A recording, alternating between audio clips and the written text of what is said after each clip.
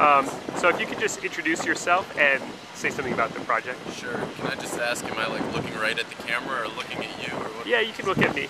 Okay. Um, my name is Chris Werner. Um, I'm the student team leader for the 2009 Cornell Decathlon team.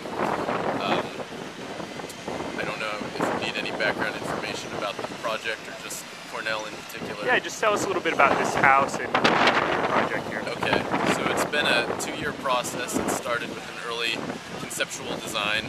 Um, the features of the silo house are supposed to kind of correspond with um, upstate New York industrial agricultural aesthetics. So the grain silo is the first thing that comes to mind, and we've nicknamed it the silo house. Uh, we had a slightly different take on the grain silo, so rather than use galvanized steel or aluminum, we're actually using a Cor-Ten steel, which is why it's bright red. So the material property of Cor-Ten is that it oxidizes on the outside layer, it seals in the rest of the steel, and uh, we've actually been watering our house as much as we've been watering our landscape to try and encourage this.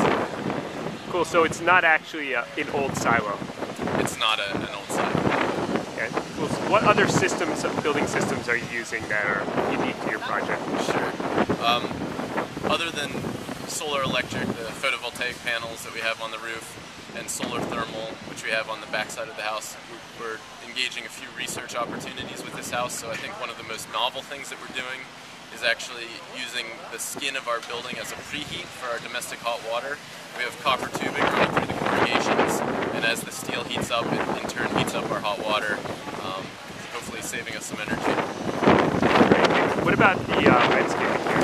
The landscape's a really prominent feature of the house, so when we travel, we want to create atmosphere everywhere we go. And because this is supposed to be like a very agrarian style house, or called it post-industrial, um, we wanted tall grasses, and um, we're actually using several well, we're using uh, gray water filtration through our landscape. So there's another research project called the nutrient film technique, and we actually have a, uh, a series of potted plants that kind of snakes through our landscape, and it's gravity fed from a high point to a low point. It takes about 24 hours for gray water and rainwater to cycle through the NFT system.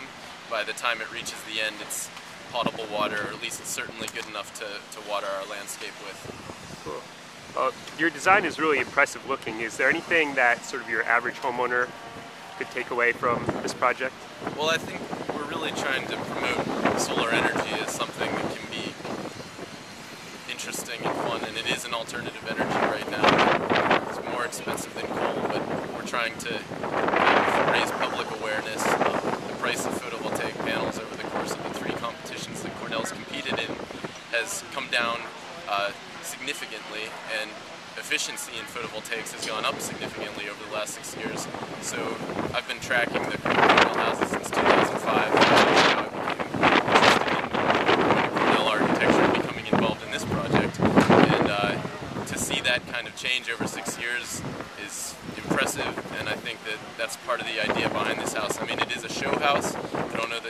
Suburban communities of the silo house, but to have people tour this, get excited about it,